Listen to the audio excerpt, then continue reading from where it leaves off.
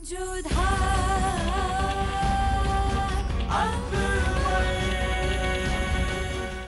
धारावाहिक किसी प्रकार की ऐतिहासिकता का दावा नहीं करता। तत्कालीन परिस्थितियों को दर्शाने के लिए आवश्यक और उचित नाटकीय रूपांतर किए गए हैं। ऐतिहासिक रूप से जोधाबाई के स्थान पर हरकाबाई हीर कुंवर जैसे नाम इतिहास में प्रचलित हैं।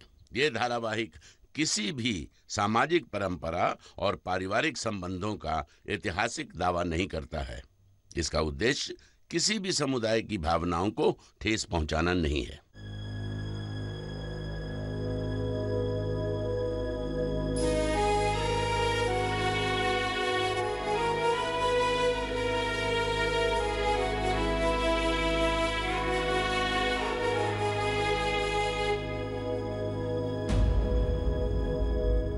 खोए हुए हो जोधा।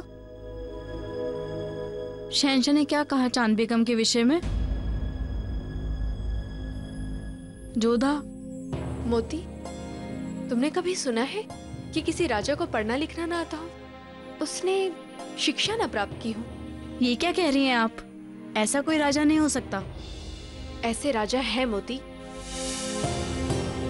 स्वयं मुगल सल्तनत के शहंशाह ये क्या कह रही हैं आप? हमें विश्वास नहीं होता। हम्म, पहले तो हमें भी विश्वास नहीं हुआ था परंतु यही सत्य है। निरक्षर होते हुए भी वो कितनी कुशलता से अपने कार्य को संभालते हैं। है ना ये प्रशंसा की बात? और आप इतने महीनों से हर बार उन्हें पत्र पे पत्र लिखती रही। अब समझ में आया कि शहनशाह से मनमुटाव दूर करने के सारे प्रयास क्यों निष्फल हुए आपके? हाँ वो अपने पत्र किसी और से पढ़वाते रहे। हम आपकी सराहना करना चाहते थे परंतु अवसर नहीं मिला। इसलिए इस पत्र के माध्यम से बता देना चाहते हैं कि हमें आपके निर्णय और कार्य कुशलता पर बड़ी प्रसन्नता है। आपकी रानी जोधा। मोती कल प्रातः सबसे पहले ये पत्र शहशाह तक पहुँचा देना। हमें आज रात्रि की बहुत व्याकुलता से प्रतीक्षा है शहशाह। हमें भी आज रात का बेसब्री से इंतज़ार है जोधा बेगम उस पत्र में लिखा एक शब्द हमने अपने हृदय से लिखा है आपके लिए।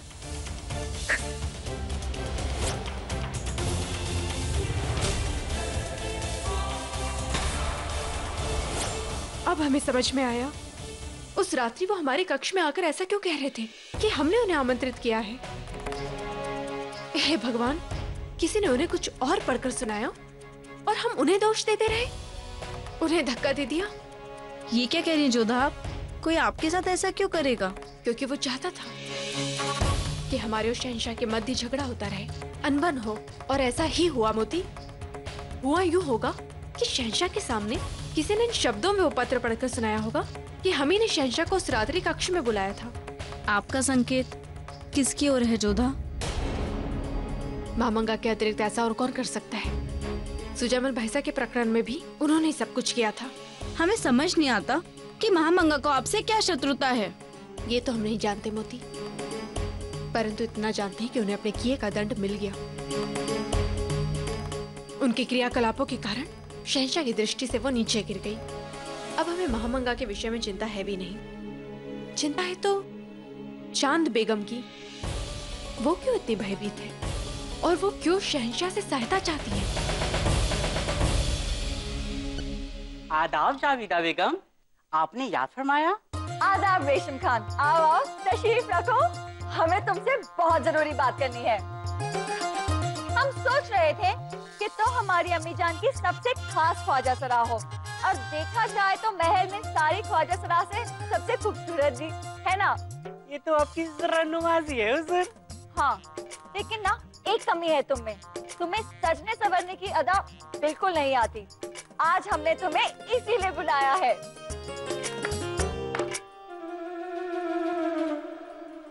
आदाब जावेदा बेगम। सलाम। जकीरा बेनजीर की खूबसूरती में तुम्हारा कितना बड़ा हाथ है ये तो सब जानते हैं। हमें मालूम है जब हमने वो कोशिश करी तो सब गड़बड़ हो गया। लेकिन हमें पूरा यकीन है आज रेशम की बारी में कोई गड़बड़ नहीं होगी। तुम्हें रेशम को बहुत खूबसूरत करना है। इसका चेहरा अच्छे से निखार देना ठीक है? हम जैसे कहे ना वैसे सब कुछ करते रहना ठीक है? नहीं नहीं कविता बेगम मैं ऐसे ही ठीक हूँ। इस इनायत की कोई ज़रूरत नहीं है। ज़रूरत है। चलो चलो जल्दी से बैठो।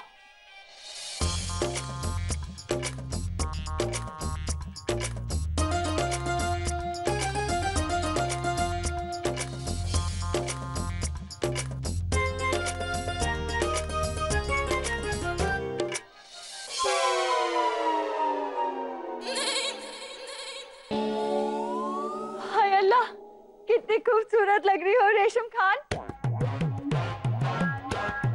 बिल्कुल पहचानी नहीं जा रही।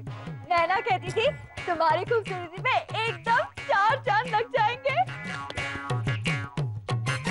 वज़ीर आलिया की बहू है इसलिए ये सब सहना पड़ रहा है। या अल्लाह बचाओ मुझे इस बला से। चार दरवाजे बाहर आने के दो दरवाजे अंदर जाने के।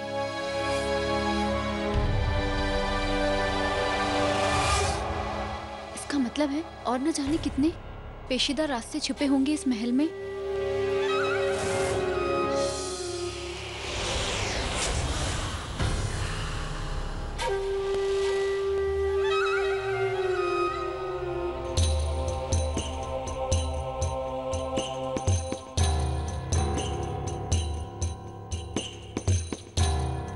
क्या कर रही हो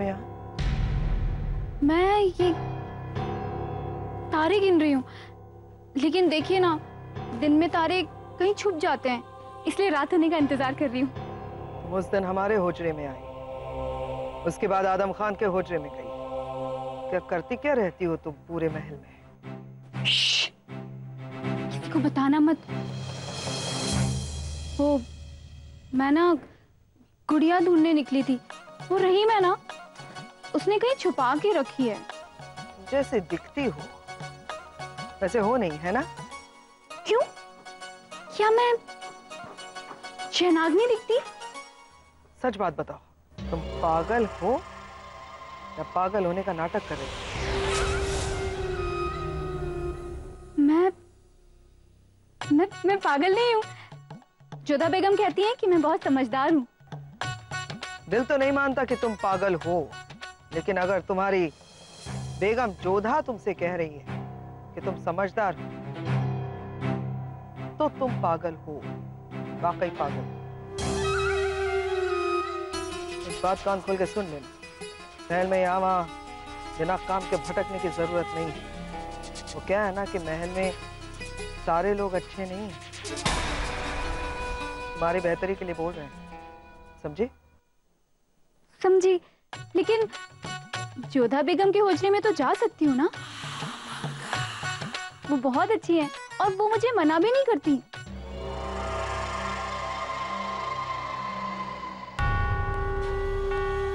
बहुत शातिर है ये औरत।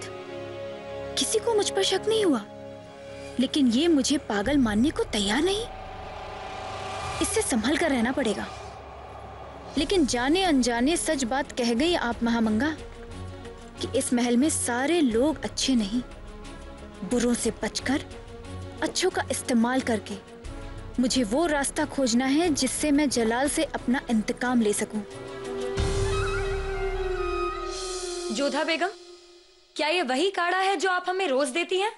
अगर है तो हम इसे हरगिज नहीं पिएँगे ये बहुत कड़वा है। बिल्कुल नहीं ये वो नहीं है।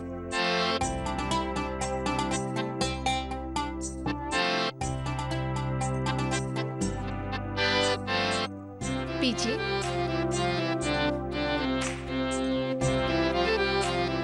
आप सच कह रही हैं ना? हमसे झूठ तो नहीं बोल रही? रुकया बेगम आप जानती हैं आप बिल्कुल रहीम की तरह बहारे बना रही हैं। पी लीजिए इसे आवश्यक है आपके स्वास्थ्य के लिए।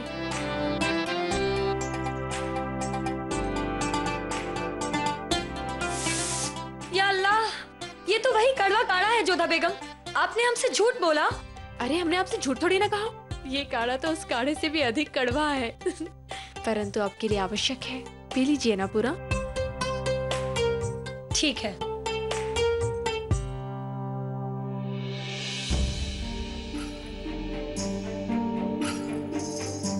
क्या हुआ जोधा बेगम? आपका दिमाग कहीं और है? आपको कहीं जाना तो नहीं है? शहनशाह ने तो नहीं बुलाया आपको? अगर ऐसा है तो आप जाइए। हम किसी बांदी को बुला लेंगे। नहीं नहीं ऐसा कुछ भी नहीं है। बस हमारे मन में कुछ और चल रहा है। यदि आपकी आज्ञा है तो पूछे आपसे। बेशक। रुकया बेगम आप चाँद बेगम के विषय में कुछ जानती है? नहीं, हमने तो ये नाम कभी पहले नहीं सुना।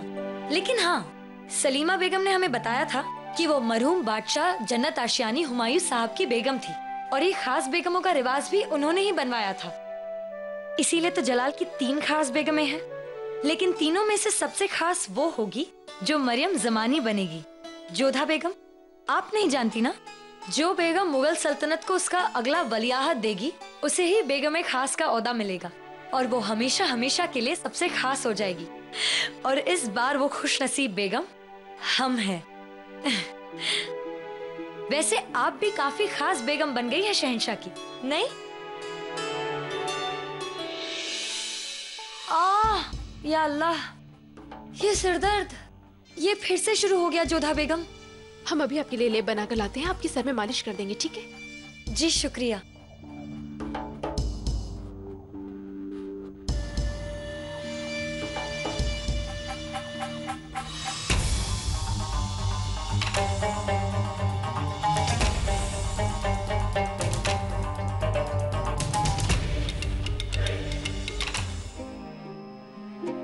इस खत ने हमें खौफ में डाल दिया है गुलबदन बेगम। न जाने वो कहाँ होंगी किस हाल में होंगी। वजह फरमा रही हैं आप भाभी जान इतने सालों से तो उनकी कोई खबर नहीं मिली। और अब यकायक उनका ये खत मिलना कुछ तो है।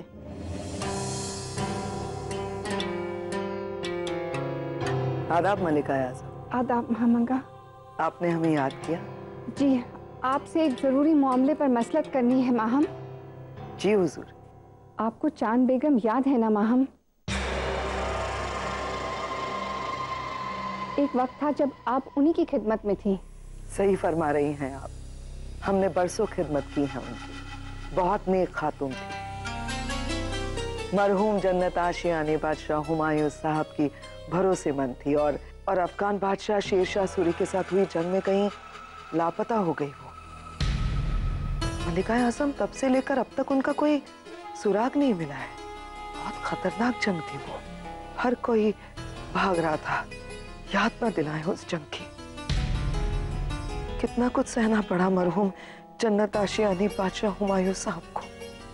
माफ़ कीजिएगा लेकिन यकायक ये ये बात कहाँ से छिड़ गई? क्योंकि उनका लिखा हुआ पैगाम जोधा बेगम को मिला है। जिससे ये साफ़ ज़ाहिर होता है कि वो बड़ी मुश्किल में हैं और उन्हें मदद की सख्त ज़रूरत है। इसीलिए आपको और जीजी अंगा को बुलाया गया है। आप उनको करीब से जानती थी। शायद आप कोई रास्ता तजवीज कर सकें। इस पैगाम से तो साफ़ ज़ाहिर है कि वो किसी बड़े खतरे में हैं और उन्हें हमारी मदद की ज़रूरत है। पर न जाने क्यों वो सामने नहीं आ रही। माफ़ी चाहेंगे मलिका आज़म, लेकिन हमें लगता है कि ये कोई अफवाह है या किसी की साजिश। क्योंकि इतने सालों बाद यकायक चाँद बेगम का खत आपको मिलना। अचानक उनका पता चलना हमें थोड़ा अजीब लग रहा है। क्योंकि अगर वाकई चाँद बेगम साहिबा कहीं हैं तो पहले ही उन्होंने अपना नाम ज़ाहिर क्यों नहीं किया? वो खुद क्यों नहीं आपके सामने आई? उन्होंने खत क्यों लिखा आपको? शायद उन्हें किसी का खौफ हो और वो सही वक्त के इंतज़ार में हो।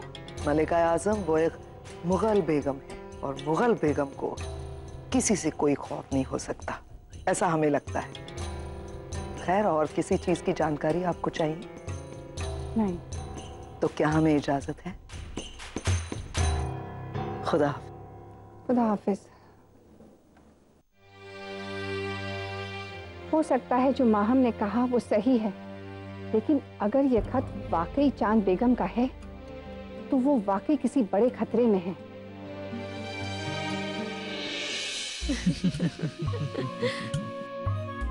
सच में?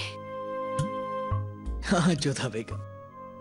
उसके बाद खान बाबा ने हमारे लिए एक और उस्ताद रखे। बड़े कड़क मिजाज थे वो। और जानती है उनके साथ क्या हुआ? क्या किया आपने उन बेचारों के साथ? कुछ नहीं बस एक दिन हम उन्हें अपने साथ शिकार पर ले गए और हम नहीं जानते कि वो कैसे खो गए। वो इतनी खौफजदा हो गई कि उन्होंने आगरा ही छोड़ दिया। बड़े उपद्रवी थे आप बचपन में हम्म? हमने कुछ नहीं किया जोधा बेगम। वो बस हमें पढ़ाना चाहते थे हम उन्हें शिकार करना। एक बात तो माननी होगी शहनशाह।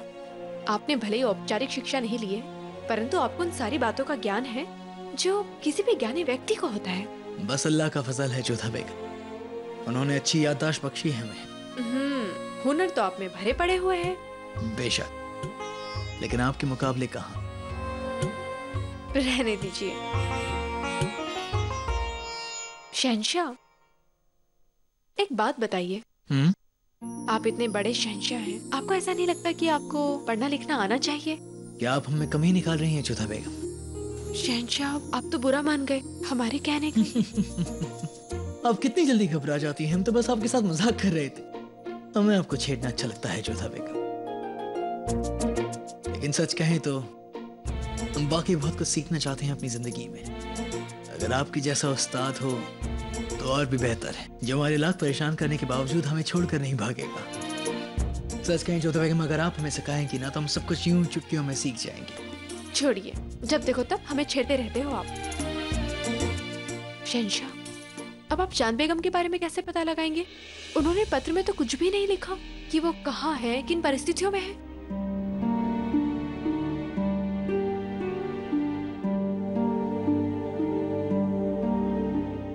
लेकिन फिर भी उन्हें हर हाल में ढूंढना हमारा फ़र्ज़ है जोधा बेगम वो हमारे वालिद साहब की बेगम है। उनकी जान खतरे में है और उन्हें बचाना हमारा फ़र्ज़ है। आखिरकार हम भी तो उनके बेटे ही हुए। एक बात हमें समझ में नहीं आई। इतने वर्षों पहले वो गुम हो गई थी। फिर आज अचानक से उन्होंने संदेशा क्यों भेजा? कहीं ऐसा तो नहीं कि उन्हें इस महल में किसी व्यक्ति से कोई असुरक्षा हो? आप सही फरमाती हैं जोधा बेगम लेकिन इन सभी सवालों के जवाब अब वही हमें दे पाएँगे। परंतु आप उन्हें ढूंढेंगे कैसे उन्हें ढूँढने का एक रास्ता है हमारे पास जोधा बेगम जर्रा नवाजी के लिए शुक्रिया शहनशाह। तशरीफ़ रखिए। आदाब। प्रणाम शहनशाह आपने याद किया? तबस्सुम अदगर साहब और टोडरमल साहब को छोड़कर बाकी सब लोगों में अकेला छोड़ दें। शहनशाह मामला क्या है? अदगा साहब हम चाँद बेगम के बारे में पता लगाना चाहते हैं। जानना चाहते हैं कि उन्हें हुआ क्या था कि अचानक एक खास बेगम इस तरह से गायब कैसे हो गई? बजा फरमाया, हुजूर आपने, ज़रूर इसके पीछे कोई गहरा राज है। अदगा ये राज बड़ा भी है और खतरनाक भी है। इसलिए हमने आप लोगों को यहाँ बुलाया ताकि आप लोगों के बयान पर तबस्सुम चाँद बेगम की तस्वीर बना सके।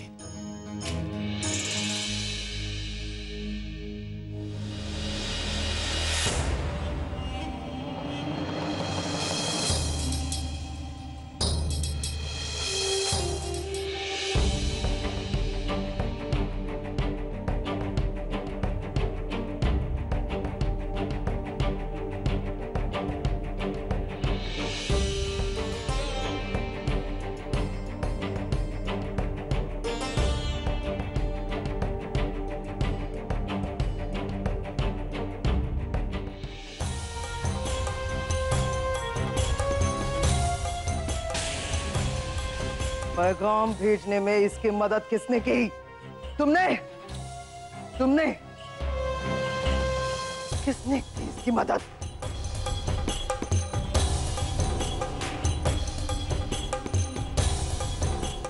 शहनशाह से मदद चाहिए तुम्हें? क्या पूछ हम?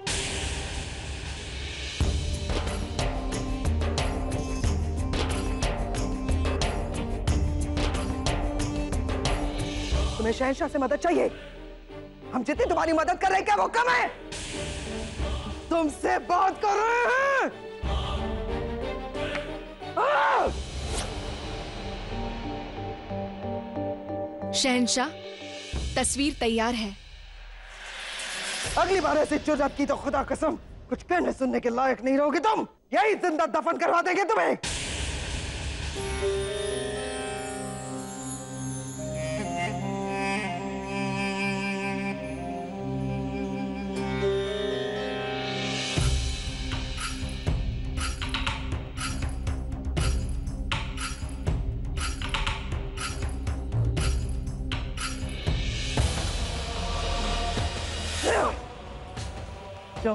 बेगम एक बात अपने जहन में बाँध लो।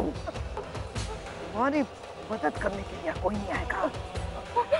हमारी ज़िंदगी यही गुजरी और यही गुजरेगी। यही सड़ोगी तुम और उसके बाद यही मर भी जाओगी। यहाँ से बाहर निकलने की कोई गुंजाइश नहीं है, समझे?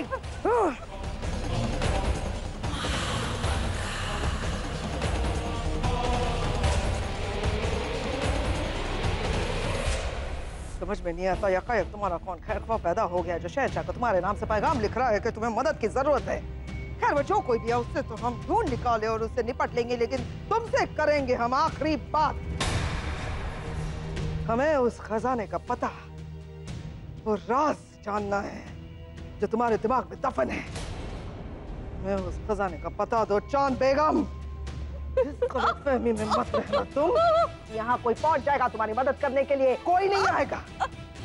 मदद तो दूर। यहाँ वरिष्ठों को भी नहीं पता चलेगा कि हमने तुम्हें कहा छुपा कर रखा है। जान बेगम, सारी दुनिया यही जानती है कि तुम ज़िंदा नहीं। और अगर तुमने हमें खजाने का राज वो पता नहीं बताया तो हम वाकई तुम्हें मार देंगे।